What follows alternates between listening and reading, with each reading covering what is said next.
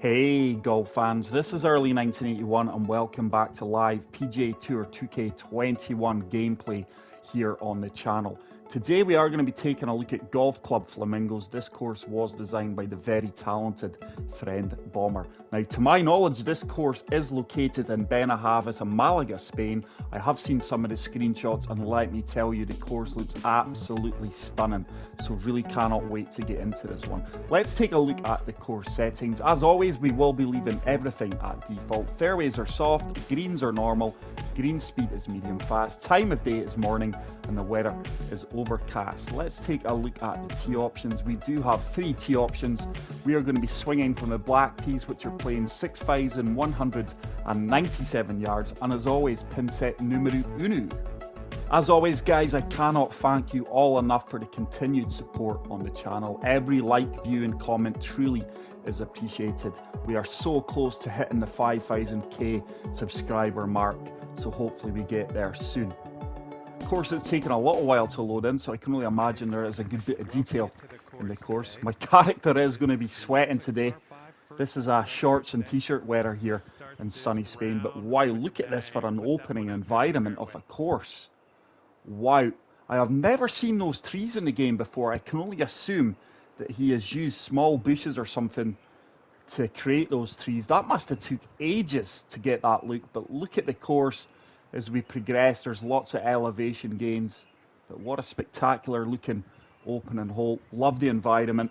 So quite a tight fairway here. We're back on the master difficulty setting, guys. So just going to take a practice swing here. There's a red slope, so just need to speed this tee shot up ever so slightly. It's a baby slope. That is really being punished though. It may kick left kind of just kick straight forward. We are going to be in the light rough. The light rough is fairly forgiven. Good lie here. We've got to navigate that bunker which is defending this opening green. I cannot see myself getting close to this, but we are going to have to... Do you know what? I think six iron is going to be too long. Seven iron, I think we can just about carry this bunker with a wind behind us. We do get the perfect. We've definitely carried it, but that's never going to sit down. I needed to apply a little bit of backspin there. But that is going to give us a good look for birdie on the opening hole. Green speeds are 154, so we're 18 feet out, breaking multiple ways here. I'm just favouring the left-hand side of the cup. So a good eagle opportunity here. That really is a, a short par 5 to kick things off, and I've severely underhit that putt there, guys. Disappointingly, we are just going to kick things off with a birdie. A very scoreable opening hole there. And we do kick things off with a birdie and move to one under par. So hole number two, this is going to be a par three. Playing 220 yards, down 15 feet. I'm really in between clubs here. Ideally a 182 or something, 185 would be perfect. So just going to shape this and try and land it on that slope left of the pin and let it release out. We get the perfect. I just love the look at this course. But that is really going to kick way past the flagstick, as you can see. Wow, these greens are absolutely firm.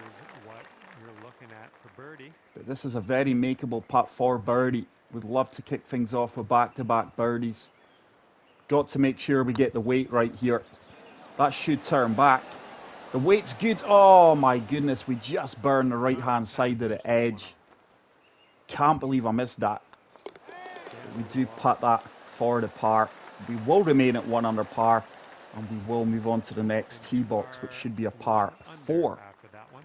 It's a par four, slightly elevated tee box playing down into this fairly forgiving fairway. This should be nothing more than a, a wedge into the green. The seven mile per hour wind is going to hold us up. Tiny fast.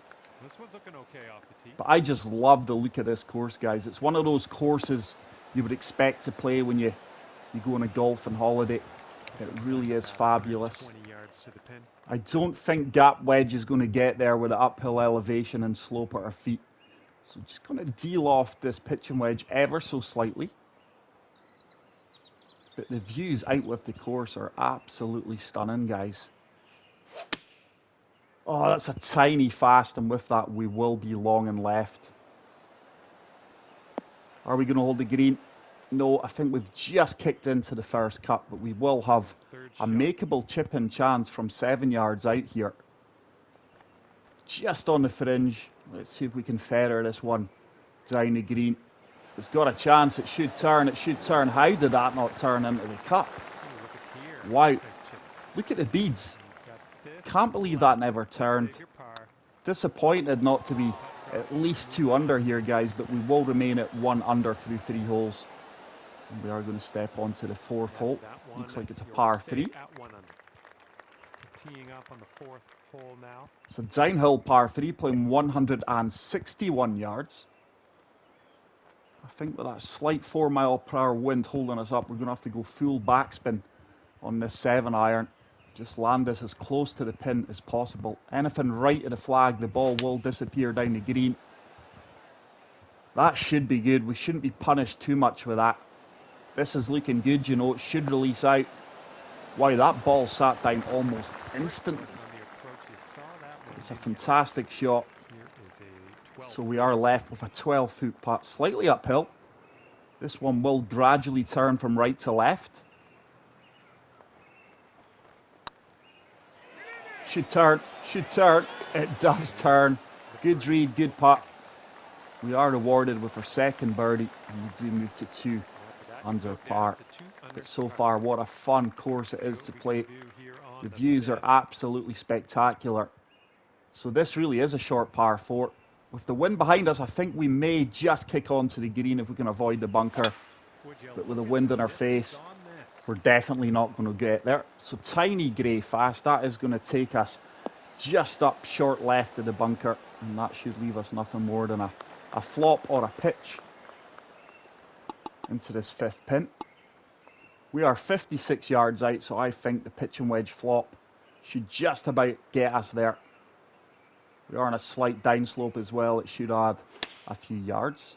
We do get the slow 101%. Oh, that ball's dying a little bit too quickly for my liking.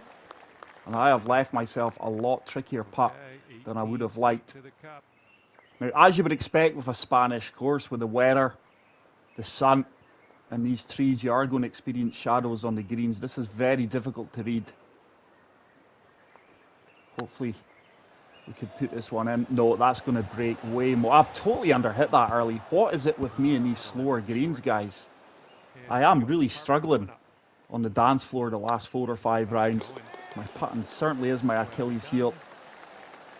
So we are still only two under here. I think I was four or five under, no one could have any complaints. But we do move on to this beautiful looking par five. Look at this, dog leg right.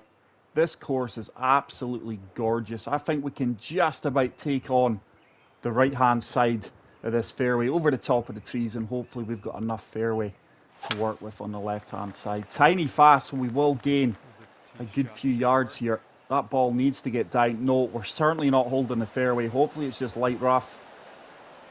It is just light rough so we're not going to be heavily punished. We can comfortably reach this par 5 and 2. So the par 5 so far are really short. Just shaping this a little bit. Try to take off a little bit of distance. Just need to carry the bunker here, and this is going to be good. Oh, it's a slow. That is going to come up short. I really needed the perfect there. If we hit the perfect, that would have been an exceptional golf shot because we would have landed it just short of the flag stick and let it release out. So let's see if we can splash this close and walk away with our third birdie of the round. Delicate shot here. Red fast, but it should have the legs, and that is going to give us nothing more than a gimme birdie from three feet out, which we do convert. And with that, we move to three under par. But really enjoying this golfing experience, guys. Fred Bomber puts so much time and detail into his courses. Now, this may well be drivable with a downhill elevation, but this course is just gorgeous. What a fantastic looking course. Aiming is down the left hand side, that 5 mile per hour wind should straighten us out. It should kick right and up onto the dance floor. It's done exactly that, so you can comfortably drive this green depending on which driver you're using and whatever wind conditions you are experiencing. But this is a monster putt for Eagle. That's all right. We are 81 feet out. This putt is I'm just looking to lag this as close to the pin as possible.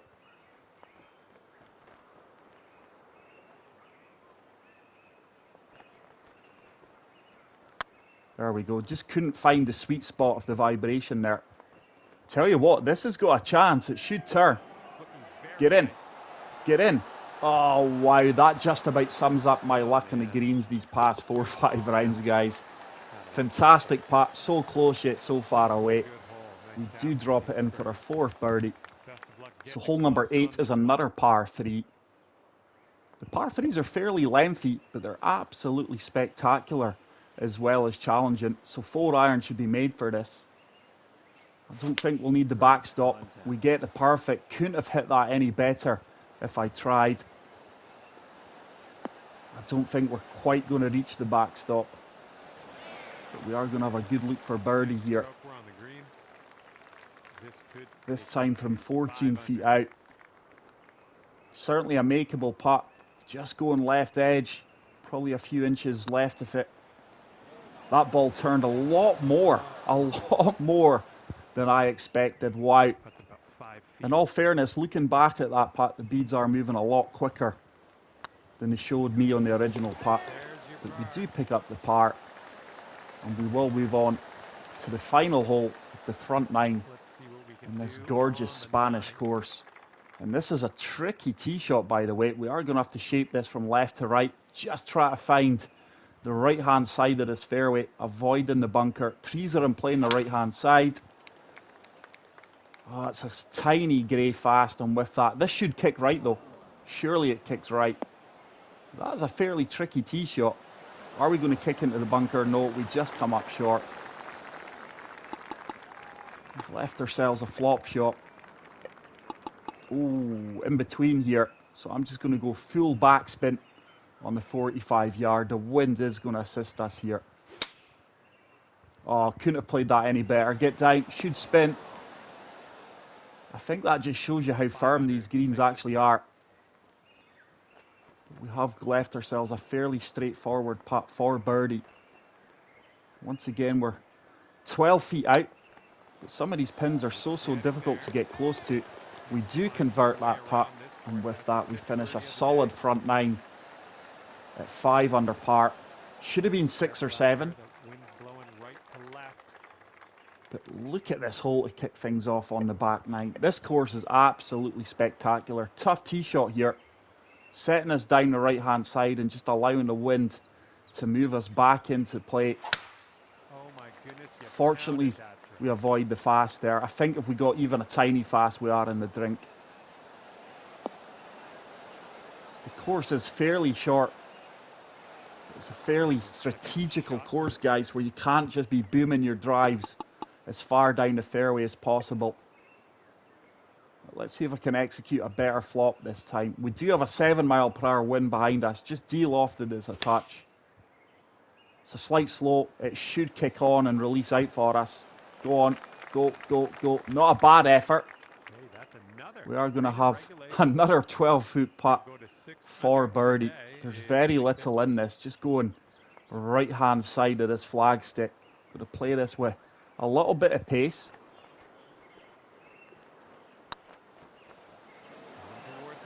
And it's done exactly what it should do.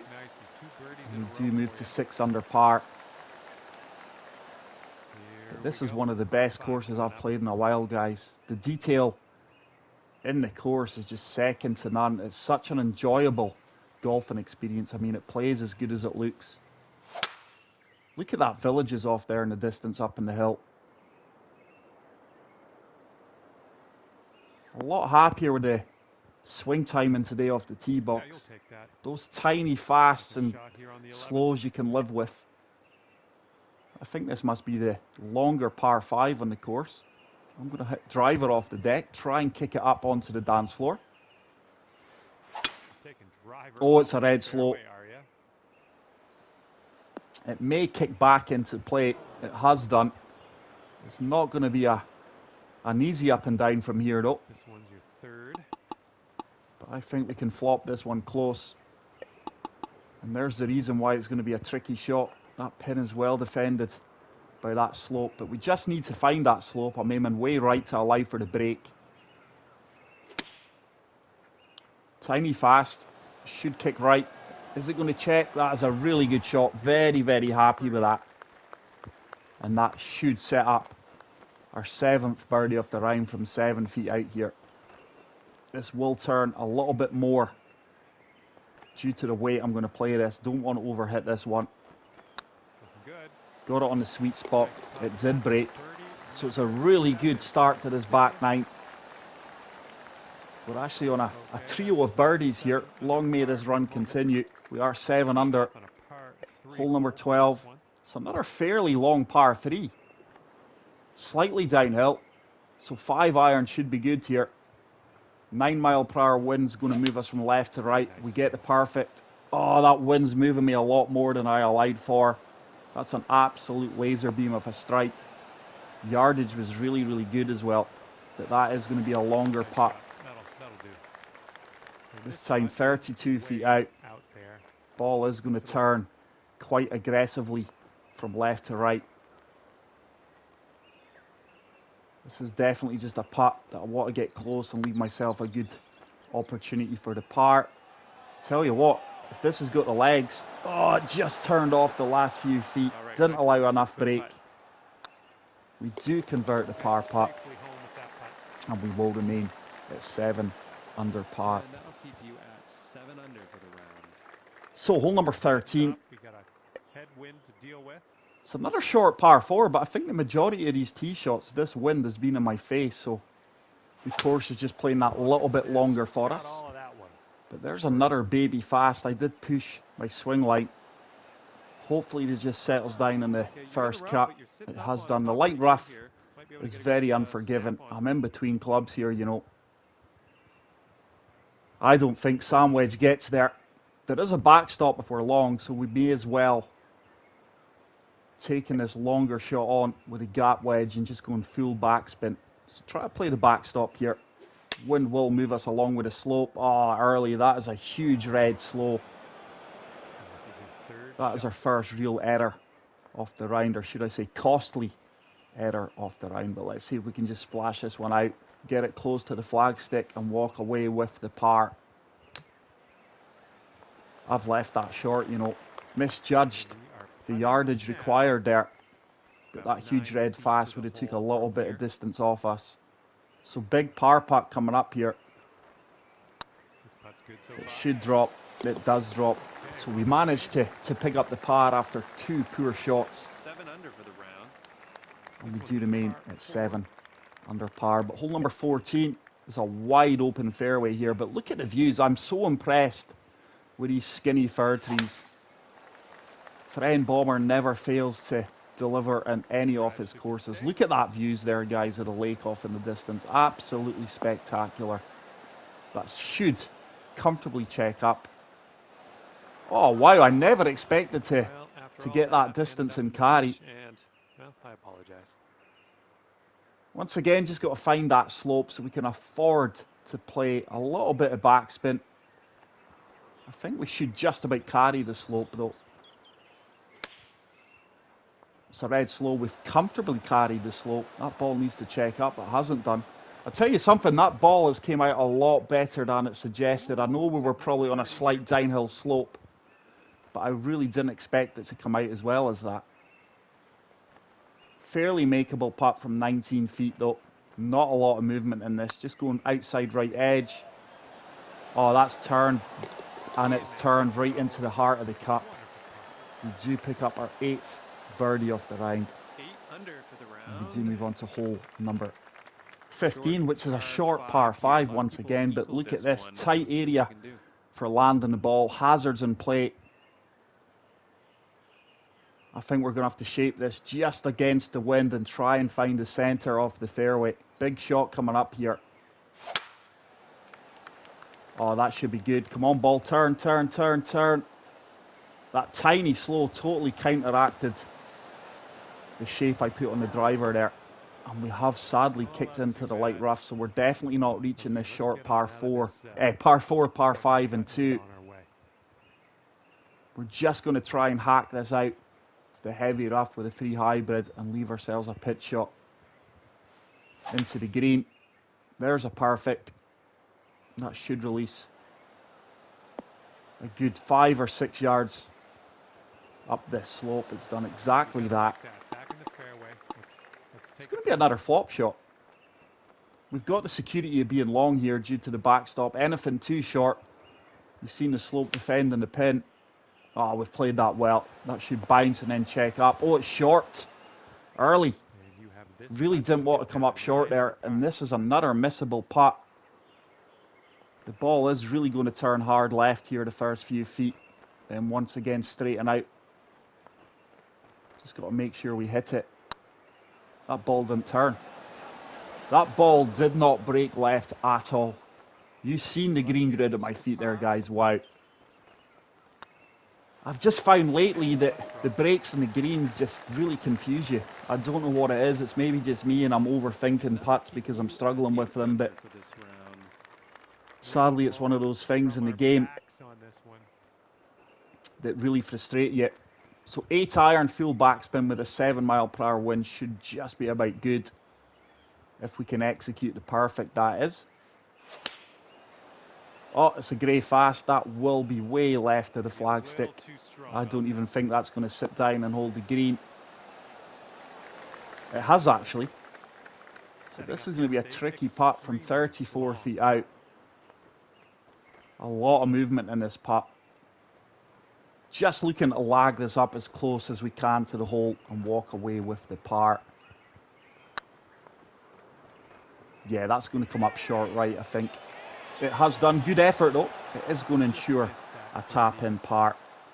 Okay, time to But what a golfing experience this is here at Golf Club Flamingos, guys. Please get out there and play it. It's one of those courses you really want to go out and play and experience it for yourself. It's got everything to offer. So hole number seven, severe uphill par four, tiny fast it's comfortably going to hold the fairway. I think every single tee shot that we have had, the wind has been in our face. Do you know that? I could be wrong. Someone will correct me if I am. So let's see if we can splash this one close from 31 yards out. Decent execution. Oh, that's came up way short. I didn't allow enough for the slope at my feet and that 12 feet uphill. here now for our third Green. Oh, early, that's a huge mistake. Just wasn't fully focused on that shot there whatsoever. That should run out. Oh, we'd have liked to have got a little bit more run out on that chip. This is a missable putt. Fortunately, there's nothing in the break whatsoever. It holds its line and we do drop that for the par. But I've just made a few um. Mistakes in this round, guys, but we're still walking away with a respectable score in the Master difficulty. Look at this for a final hole. Absolutely spectacular. Downhill par four. Really need to get the perfect here. Just shaping this a little bit from right to left. A We do get the perfect, and that should leave us nothing more than a wedge. Are we going to find this slope? This should kick left. But this course really is remarkable, guys. I'm going to say it again. It's a course you really have to play to get the full experience. Just watching it on YouTube's not going to do it justice. Oh, that's a horrible slope at our feet. Let's have a little look at the green. Ah, going to have to zoom in a little bit, but there is a defending slope there once again. Yeah, just need to make sure we get up past that. But with these slopes at your feet, you're never sure what to do. See, I think that comes up short. We're going to give it a go anyway.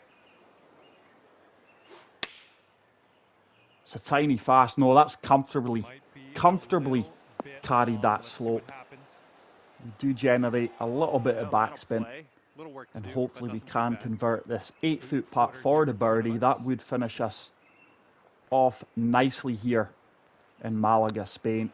It should turn. It does turn. We do finish with the birdie, and we are going to shoot a 62 9 under par. But what a fantastic course, guys. Get out there and play it. If you did enjoy the round, please leave a like. If you are new to the channel, hit the subscribe button. And until the next video, take care, peace out, and love you all. Bye. And hopefully we'll see you back here real soon.